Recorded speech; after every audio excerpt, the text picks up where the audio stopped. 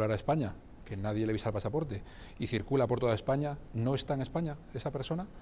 Esa persona está en España desde el momento en que pisa suelo español. Está en España. Hay un auto del Tribunal Constitucional que explica que todo el territorio del aeropuerto es soberanía española, es suelo español. No hay ninguna excusa para decir que esa persona, que es Rodríguez, no pisó suelo español. Hablabas antes, Javier, con, el periodista Luis Olaverrita, desde Caracas, que yo creo que ponía el dedo en, un elemento que es muy importante, que es la gestión de las expectativas. Juan Guaidó...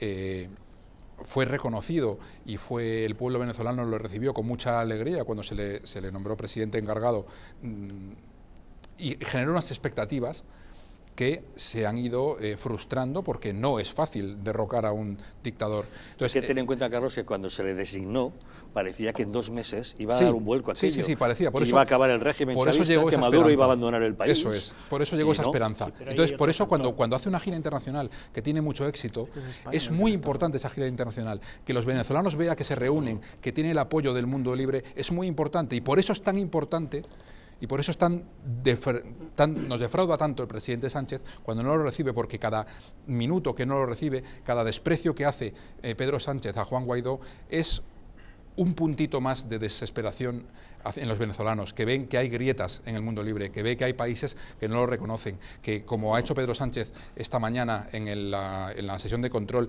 le llama líder de la oposición, después de que él mismo le reconociera como presidente. Eso le da oxígeno al régimen de Maduro. Y le dice líder de la oposición. ¿Cómo que líder de la oposición, señor Sánchez? Señor Sánchez, rectifique inmediatamente y reconozca a Juan Guaidó como presidente o tenga el valor de acudir a sus socios europeos a decir que no lo reconoce como presidente y que Maduro para usted, que Maduro para usted sigue siendo el presidente legítimo de Venezuela. Y si no tiene el valor de acudir y decir que